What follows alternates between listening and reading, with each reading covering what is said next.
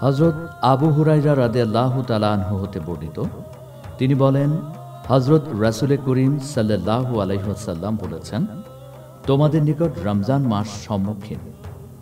এটা এক অত্যন্ত বরকতময় মাস। আল্লাহ তালা এ মাসে তোমাদের প্রতি রোজা ফরজ করেছেন। এ মাসে আকাশের দরজাসমূহ উন্মুক্ত হয়ে যায়। এ মাসে জাহান্নামের দরজাগুলো বন্ধ করে দেওয়া হয়। এবং এ মাসে বড় বড় শয়তানগুলিকে আটকে রাখা হয়। এ মাসে একটি বরকতময় রাত আছে, যা হাজার মাসের চেয়ে উত্তম। যে লোক এ রাত্রির মহাকল্যাণ থেকে বঞ্চিত থাকল, সে সত্যিই বঞ্চিত ব্যক্তি। আল হাদিস।